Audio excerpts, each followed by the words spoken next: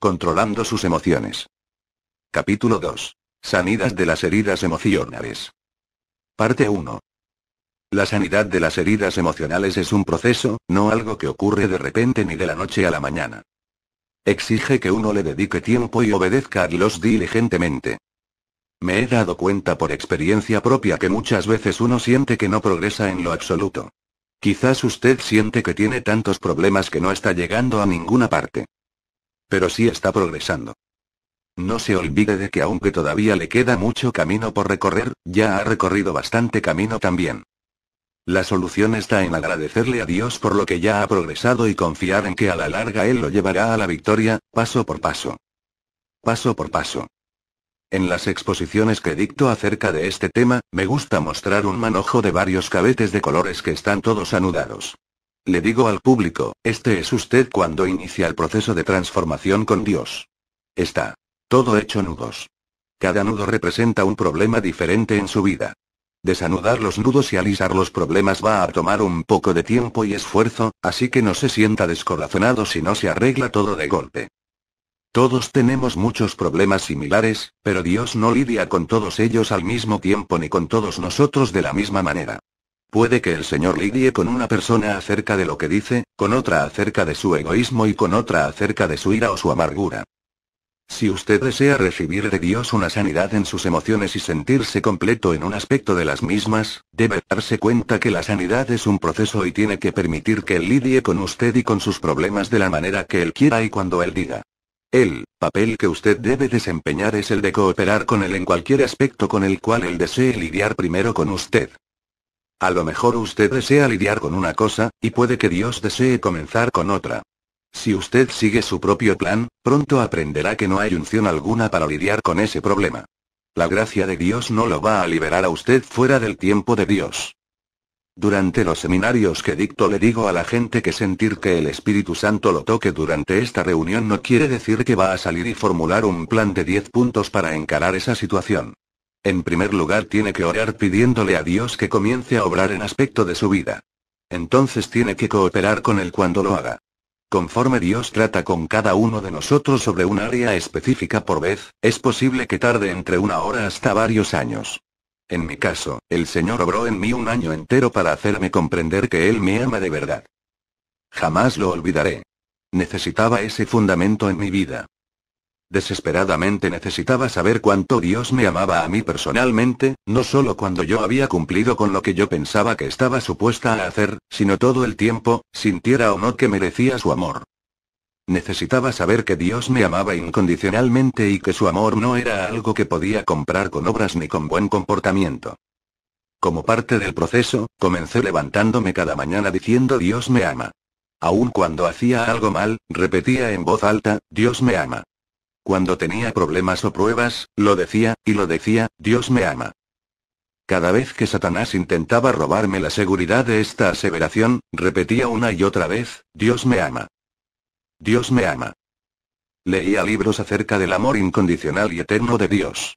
Meditaba sobre ello constantemente hasta que esta verdad se cimentó firmemente en mi corazón y en mi mente Dios me ama.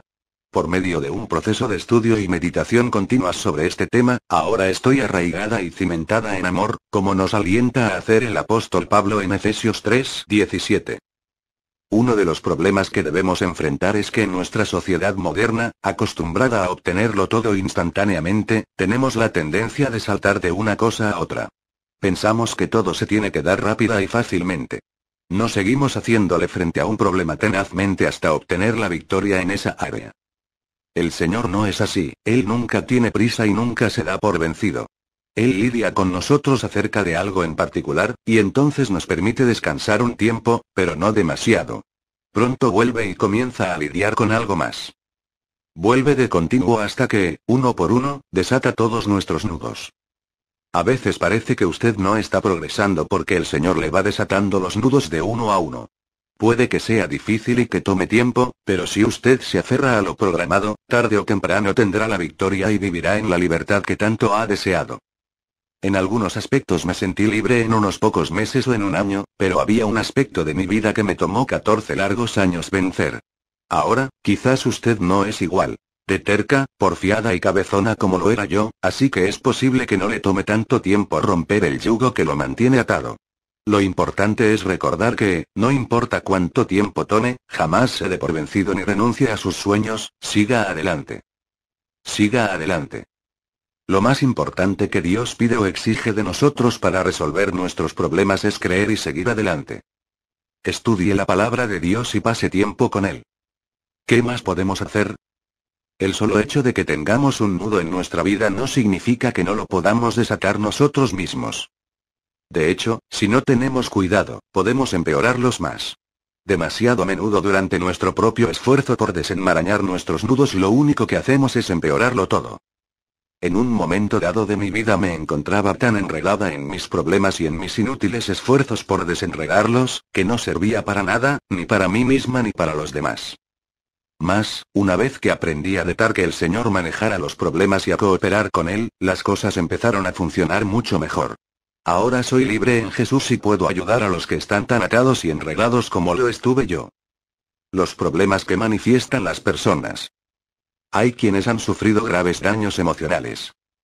Siento que de una forma u otra, todos nosotros hemos formado parte de ese grupo, o lo formaremos algún día, así que echémosle un vistazo a algunos de estos problemas. Algunas personas tienen complejos o sentimientos de inferioridad. Se odian a sí mismos a raíz de que se sienten avergonzados, se autorechazan. Hay una voz en su interior que les dice que no sirven para nada, que algo anda mal en ellos. Por años me acosó la constante interrogante que anda mal en mí. ¿No resulta interesante que cuando nacemos de nuevo, lo primero que el Señor quiere darnos es su justicia por medio de su sangre para que dejemos de preguntar qué es lo que anda mal y comencemos a confesar lo que anda bien, ahora que estamos en Cristo? Otros se vuelven perfeccionistas. Siempre intentan probar que son dignos y tratando de que los amen y los acepten en base a su desempeño y rendimiento. Los perfeccionistas luchan siempre por hacerlo todo cada vez mejor con la esperanza de que alguien los amará más y los aceptará más a cambio de ello. Aún otros se vuelven en extremos sensibles. Recuerda lo que dice el apóstol Pablo sobre el amor en la Corintios 13, 5. No se irrita. ¿Se irrita usted? ¿Le gustaría de una vez verse libre de ser en extremo sensible? De ser así, parte de la solución es enfrentarse al hecho de que usted se irrita, el problema no yace en los que lo ofenden constantemente o le hieren emocionalmente, sino en usted por su naturaleza que es sensible. Sentirse seguro lo sanará y no se irritará más. Una de las cosas que me ayudó con este tema fue algo muy sencillo que me dijo una señora que estaba leyendo un libro respecto al tema. Me dijo, sabes, el libro que estoy leyendo dice que el 95% del tiempo cuando las personas hieren tus sentimientos, jamás fue su intención hacerlo. Eso quiere decir que si se te hieren con facilidad los sentimientos, fue por decisión propia. La buena nueva es que también puedes decidirte por lo contrario. Sinceramente le aliento a dejar a un lado la sensibilidad extrema. Se sentirá mucho mejor acerca de sí mismo y de los demás. Sé de qué hablo.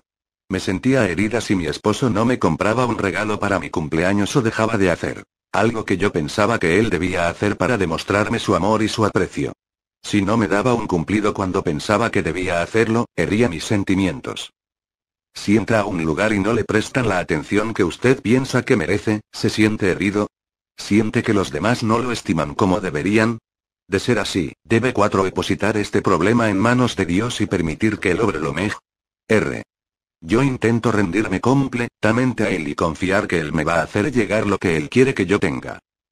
En breve, estoy aprendiendo a no esperar que los demás suplan mis necesidades, sino a confiar en el Señor, que Él suplirá necesidades de la manera que Él sabe que mejor me conviene. Resulta interesante que la persona que es en extremo sensible en cuanto a lo que los demás le hacen, con frecuencia es totalmente insensible a cómo trata a los demás. Yo era así. Era en extremo sensible y sin embargo a los demás les era difícil llevarse conmigo debido a que era muy insegura. Muchas veces una persona es demasiado sensible porque en el pasado la han herido y, teniendo las emociones amoratadas, son mucho más sensibles a cualquier roce. Es por eso que se irritan fácilmente. Yo reaccionaba así. Al igual que muchos otros, porque durante gran parte de mi vida no recibí el amor y el cariño que necesité, así que cifraba en los demás mi felicidad. Al casarme me convertí en una persona sofocante. Debido a que se me habían negado amor y afecto, tenía la tendencia a sofocar a cualquiera que demostrara tenerme cariño o se interesara un poco por mí. Aprendí que en una relación matrimonial es necesario darle cierta libertad a nuestro cónyuge. Tenemos que deshacernos del temor a los demás para desarrollar un temor reverencial y el respeto que Dios se merece. ¿Por qué tenemos algunos tanto pavor de lo que puedan llegar a pensar los demás de nosotros? La razón estriba en que tenemos una pobre imagen del propio ego. El solo hecho de que alguien tenga una opinión negativa de nosotros, hace que Dios nos menosprecie o que perdamos nuestro valor ante sus ojos. Claro que no, pero sentimos que valemos menos al no ser que estemos seguros de quiénes somos en Cristo. Los que temen demasiado a los demás son candidatos óptimos para caer bajo un espíritu de control. Tenemos que ser sumamente cuidadosos en este campo. Muchas veces la persona que sufre de autoestima baja se deja dominar por alguien que promete demostrarles amor o aceptarlos. Dejan que los manipulen como títeres. Tienen miedo de cortar con las cuerdas porque temen perder la atención que reciben del que los domina. Temen a la soledad. Hay quienes, debido a heridas emocionales, se vuelven dominantes y manipuladores. Yo era uno de ellos. Cuando me casé, debido a las heridas de mi pasado, se me hacía muy difícil someterme a mi esposo en el Señor, como enseña la Biblia Efesios 5, 22. Colosenses 3, 18. Temía que si me sometía a él y le permitía ejercer dominio alguno sobre mí, que me haría daño. Dave me decía de continuo, Joice, no voy a herirte. ¿No entiendes que te amo y que las decisiones que tomo las tomo porque son las que más nos convienen? Es Dios quien me ha dado esa responsabilidad. Mas por mucho tiempo no podía comprenderlo. No podía creer que alguien se interesara por mí a tal grado que tomara decisiones que me beneficiarían en algo. Pensé que si permitía que alguien ejercitara cualquier grado de dominio sobre mi vida, que se aprovecharía de mí y haría lo que mejor le conviniera a él, y no a mí. Hay quienes se comportarían de esa manera, pero Dave, no era de esos. Dios nos está pidiendo que confiemos en Él y creamos que si las personas nos tratan mal, será Él quien nos vindicará. Cuando en el pasado hemos sido lastimados, tenemos la tendencia de arrastrar esas heridas a relaciones nuevas. Una de las cosas que Dios quiere hacer por nosotros es ayudarnos a aprender cómo comportamos en las nuevas relaciones que vamos desarrollando, en vez de arruinarlas a causa de las malas experiencias que hemos vivido en el pasado. Está también el comportamiento adictivo alcoholismo, drogadicción, ser adicto a la comida, y a comprar cosas, entre otras adicciones. Si usted sufre de cualquiera de estas enfermedades emocionales, Dios quiere sanarle. Quiere sanarlo para que no se sienta poca cosa, ni avergonzado, ni rechazado, ni tenga adicciones, ni sea sensible en extremo, ni tenga temor, ni trabaje arduamente para ser un perfeccionista que agrade a Dios. Una vez el Señor me dijo, Joice, no soy tan difícil de complacer como piensa la gente. Dios no exige que usted y yo seamos perfectos. Si pudiéramos serlo no habría sido necesario que Dios enviara a Jesucristo, el sacrificio perfecto, para tomar nuestro lugar. Dios tiene la maravillosa habilidad de amamos a pesar de nuestras imperfecciones. Desea sanamos de nuestros temores nuestras debilidades y adicciones. Pero para que ello logre, nosotros tenemos que estar dispuestos a ayudar. Esté dispuesto a recibir ayuda. Yo soy el camino. Juan 14, 6. Hay muchas personas que han sido heridas tan profundamente, que están clamando por ayuda. El problema está en que no están dispuestos a recibir la ayuda que necesitan de parte de Dios.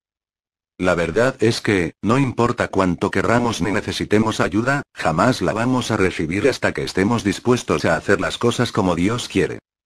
Es increíble cuántas veces queremos ayuda, pero que Dios nos ayude a nuestra manera. Dios quiere que nosotros lo hagamos a su manera. En Juan 14, 6 Jesús dijo, Yo soy el camino. Mientras preparaba este mensaje recibí un entendimiento profundo de lo que significa esa verdad. Lo que Jesús quiso decir con yo soy el camino, es que Él tiene una cierta manera propia de hacer las cosas, y si nos sometemos a su manera, a su camino, todo nos saldrá bien. Mas con frecuencia luchamos con Él y le llevamos la contraria, intentando que sea Él quien siga nuestro camino y nuestra manera. No funciona. Por ejemplo, en nuestro ministerio les informamos a las personas, tienes que meterte en la palabra de Dios, tienes que leer y estudiar la Biblia diario. Si no, no conocerán cuál es el camino de Dios ni cómo recibir su ayuda. ¿Cuántas veces las personas se han parado frente a mí ante el altar y me han compartido todo tipo de cosas terribles que les están ocurriendo en la vida y cuánto están sufriendo, y yo quiero ayudarles, y, sin embargo, se rehúsan a hacer lo que se les pide para que puedan recibir la ayuda que necesitan?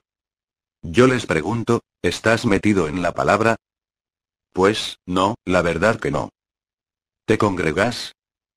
No siempre llego al culto. ¿Con qué frecuencia asistes a reuniones espirituales similares a esta?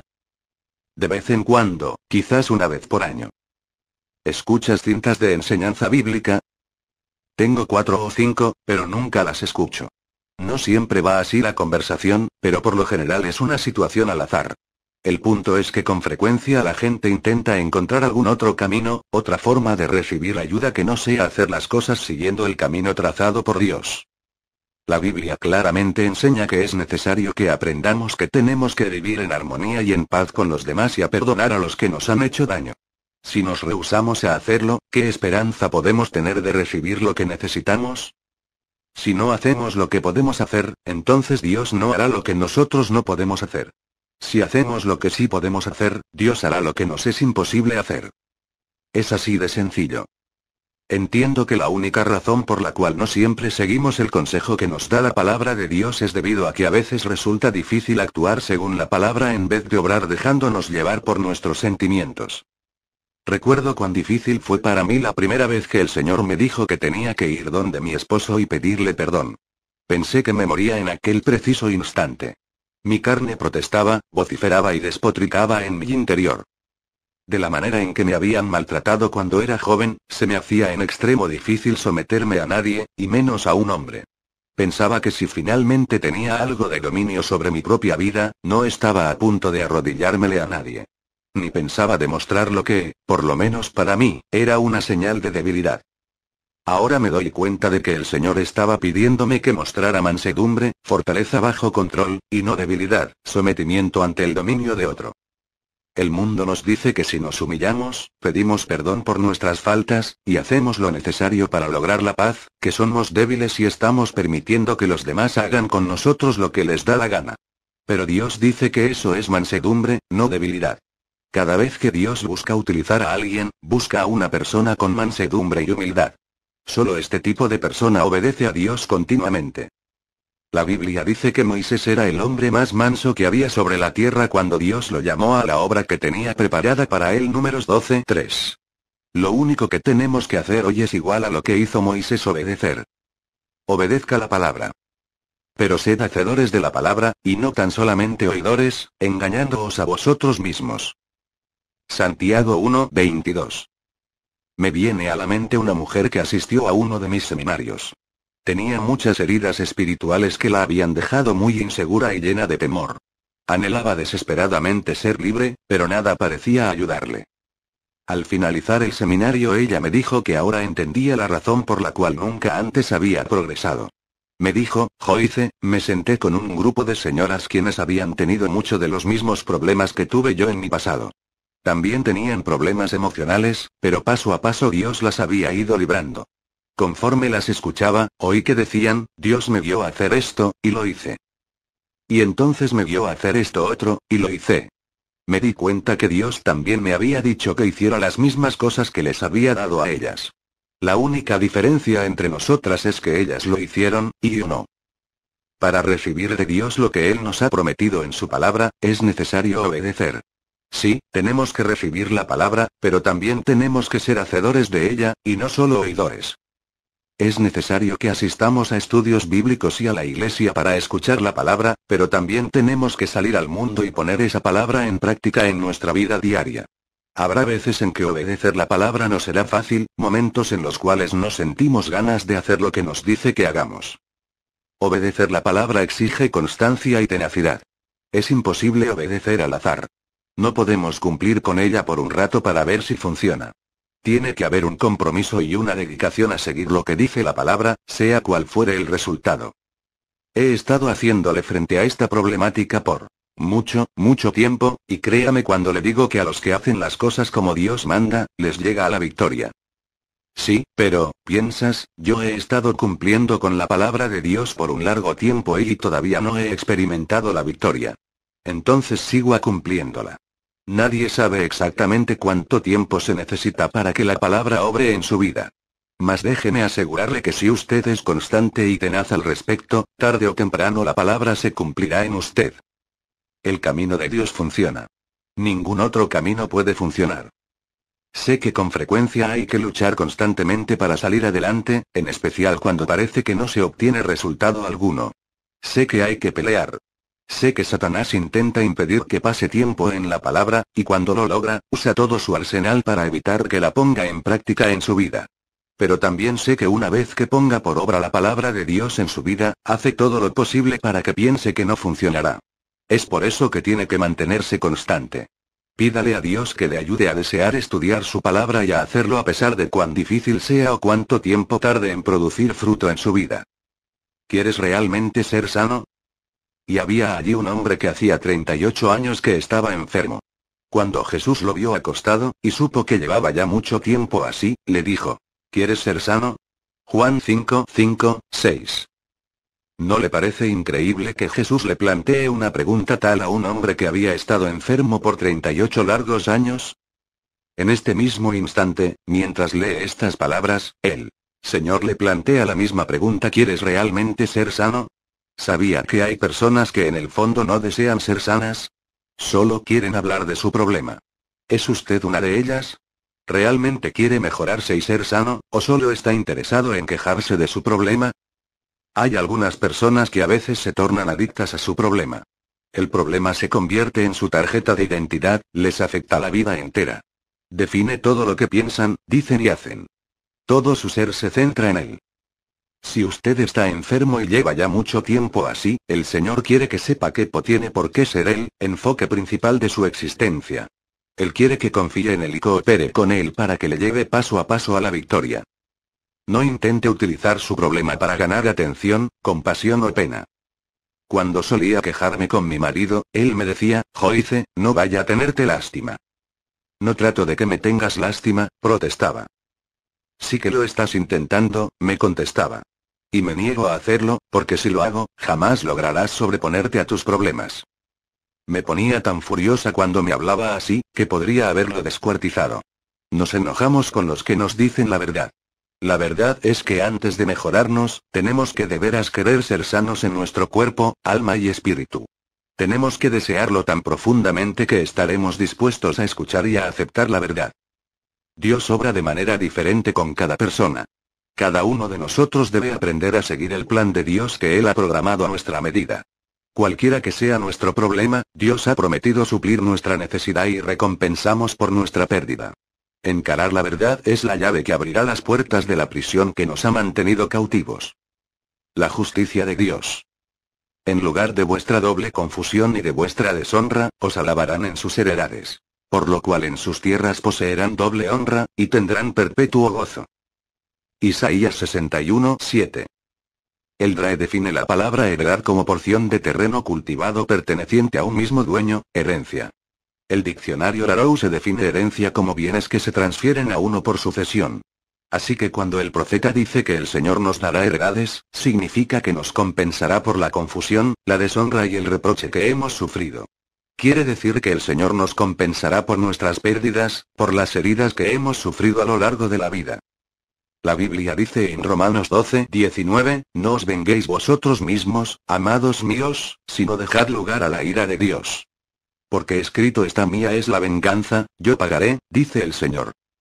Uno de los errores más graves que cometemos es intentar vengarnos, darle al otro su merecido, equilibrar la balanza de la justicia, en vez de confiar en que Dios se encargará de hacerlo por nosotros. Si intentamos hacerlo nosotros mismos, terminaremos en tremendo lío. Cuando la Biblia habla de compensación y de justicia, sencillamente quiere decir que usted y yo recibiremos lo que nos corresponde, aquello a lo cual tenemos derecho. Ahora, en calidad de hijos de Dios que han sido comprados con la sangre de su propio Hijo, sabemos que, siempre y cuando confiemos en el Señor y le obedezcamos, y nos arrepintamos de nuestros pecados y de nuestros fracasos, no recibiremos lo que nos correspondería en cuanto al castigo propio de nuestros pecados, sino que seremos recompensados por nuestra justicia. Jesús llevó nuestro castigo, a cambio, nosotros recibimos su herencia. En el Salmo 37, 1, 2 dice la Biblia no te impacientes a causa de los malignos, ni tengas envidia de los que hacen iniquidad. Porque como hierba serán pronto cortados, y como la hierba verde se secarán. El amor de Dios ha sido derramado en nuestros corazones por el Espíritu Santo, Romanos 5, 5. No queremos que nadie sea cortado ni se seque, aun los que nos han hecho daño. Doy gracias a Dios que en mi vida he llegado al punto de que no quiero que los que me atormentaron vivan una vida miserable. Sin embargo, Dios nos ha prometido que a los que le pertenecemos y seguimos, Él se encargará de que algún día los que nos hirieron paguen por pecar contra nosotros, a menos que lleguen al arrepentimiento. Pero será Dios quien nos recompensará, si confiamos en Él. Muy a menudo los creyentes no parecen darse cuenta de que no les corresponde tomar cartas en el asunto. Muchos están enojados por lo que le han hecho, y esa ira se manifiesta de muchas maneras destructivas. Parte del problema estriba en que, como cristianos, aún no hemos aprendido que la vida trae desilusiones. La primera parte del Salmo 34, 19 dice, muchas son las aflicciones del justo. Aunque somos hijos de Dios, no todo saldrá como queremos, y no todos nos tratarán como nos gustaría ser tratados. Mas la Biblia enseña que si seguimos confiando en Dios a pesar de lo que nos pueda llegar a ocurrir, si mantenemos firmes los ojos puestos en Él y depositamos nuestra fe y confianza en Él, será Él quien equilibre las balanzas. La segunda parte del Salmo 34, 19 dice, y, pero de todas ellas le librará Jehová. La hora llegará en que todas las cosas caerán en su lugar. Nuestros enemigos serán recompensados por todas sus artimañas, y nosotros recibiremos una doble porción por todo lo que hemos perdido y sufrido. Vale la pena esperar que se cumpla la verdadera justicia. Una gran recompensa. Después de estas cosas vino la palabra de Jehová a Abraham en visión, diciendo no temas, Abraham. Yo soy tu escudo, y tu galardón será sobremanera grande. Génesis 15, 1. En este pasaje vemos que el Señor viene donde Abraham y le promete que si le es fiel y obediente, que él mismo sería su mayor recompensa y galardón. Más tarde en Gálatas 3 se nos indica que la bendición de Abraham no era solo para él, sino para beneficio de todos los que somos herederos de Abraham mediante la fe en Jesucristo, el Hijo de Dios. Cada uno de nosotros puede ser igual de bendecido que Abraham, si somos igual de fieles y obedientes. En nuestro ministerio, mi marido y yo tenemos una vida maravillosa.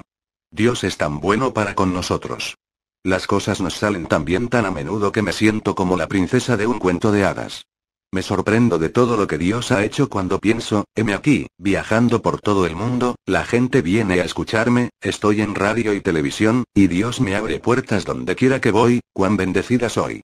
Dios lo bendecirá a usted también, si camina en sus caminos y confía en que Él será su recompensa, su galardón, el que lo vindica y justifica.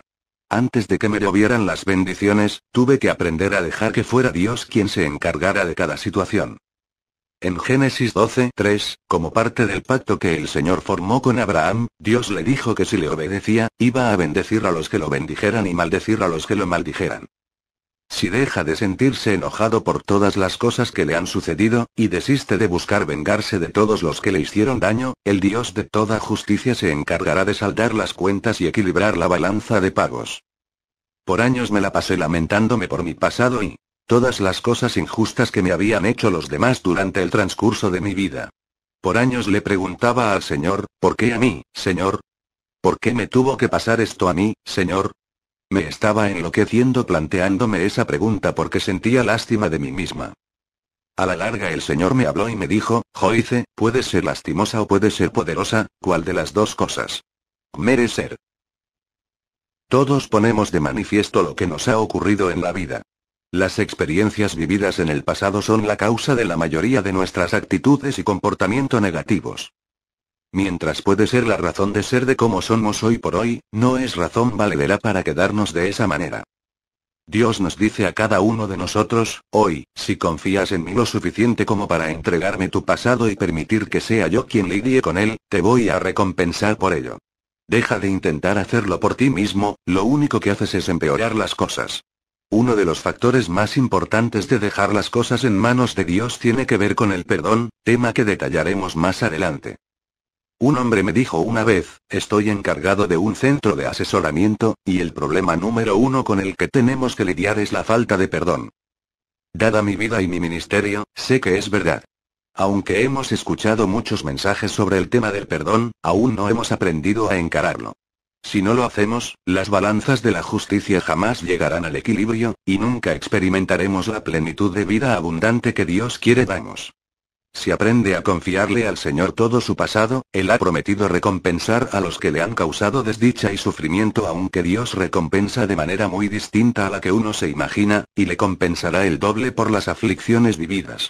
¿No le parece que vale la pena renunciar a las heridas del pasado a cambio de obtener una recompensa y un galardón tal? Los dos caminos. Entrad por la puerta estrecha. Porque ancha es la puerta, y espacioso el camino que lleva a la perdición, y muchos son los que entran por ella. Porque estrecha es la puerta, y angosto el camino que lleva a la vida, y pocos son los que la hallan. Mateo 7, 13, 14. Vimos que Jesús dijo yo soy el camino. En este pasaje habla de dos caminos distintos, el ancho que lleva a la destrucción y el angosto que lleva a la vida. Conforme meditaba sobre este pasaje, el Señor avivó en mí el significado del mismo diciéndome, Joice, en el camino ancho hay lugar de sobra para todo tipo de cosas carnales, tales como la amargura, la falta de perdón, el resentimiento y el deseo de venganza. Pero en el camino angosto solo hay lugar para que quepa el espíritu. En la carne resulta fácil tomar el camino fácil, hacerlo hace que uno se sienta bien en ese momento, pero su fin es la destrucción. Es mucho más difícil tomar el camino angosto que lleva a la vida. Las emociones nos arrastran a tomar por el camino fácil, a hacer lo que nos complace por ahora. La sabiduría nos guía a tomar por el camino difícil que lleva a la vida. La interrogante es qué camino escogeremos. Dios quiere ser bueno con usted. Por tanto, Jehová esperará para tener piedad de vosotros, y por tanto, será exaltado teniendo de vosotros misericordia. Porque Jehová es Dios justo, bienaventurados todos los que confían en él. Isaías 30, 18. Note nuevamente que Dios es un Dios de justicia. Espera, está a la expectativa, busca y anhela hacerle el bien. Hebreos 6, 10 dice, porque Dios no es injusto para olvidar vuestra obra y el trabajo de amor que habéis mostrado hacia su nombre. Esta es la razón por la cual los que esperamos en Él fervorosamente somos bendecidos. Dios está en el cielo esperando hacerle el bien a usted y a mí. Es un Dios de misericordia y justicia, no de ira y castigo. Él desea equilibrar las balanzas de nuestra vida, y recompensamos por todas las heridas y lastimaduras que hemos sufrido, cualesquiera que hayan sido. No importa cuál sea su presente situación, o su experiencia pasada, Dios quiere hacerle el bien. Él ha trazado un plan excelente para su vida. Siga caminando. Entonces tus oídos oirán a tus espaldas palabra que diga este es el camino, andad por él. Y no echéis a la mano derecha, ni tampoco torzáis a la mano izquierda. Isaías 30, 21. A pesar de lo que pueda haberle sucedido en la vida, aun si su cónyuge le ha abandonado, o lo hayan maltratado sus padres, o sus hijos, u otra persona, si usted sigue por ese camino estrecho y deja atrás todo el exceso de equipaje, tarde o temprano hallará la paz, el gozo y la satisfacción que busca. Jesús es el camino, y nos ha mostrado de qué manera debemos caminar. El Señor ha enviado a su Espíritu Santo para guiarnos al camino por el cual estamos supuestos a andar, el camino angosto que lleva a la vida y no el ancho que lleva a la destrucción.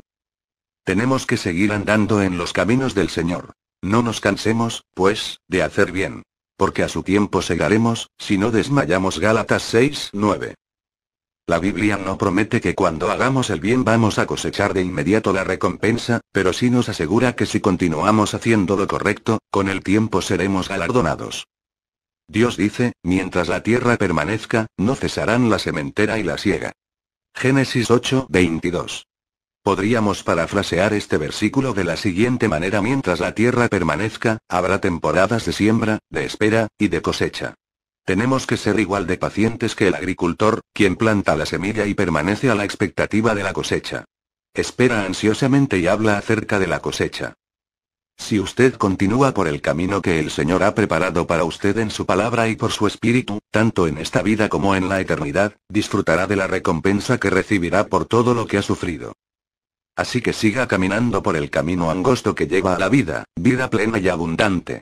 Si te gusta este canal, ayúdanos a seguir subiendo audiolibros y suscríbete.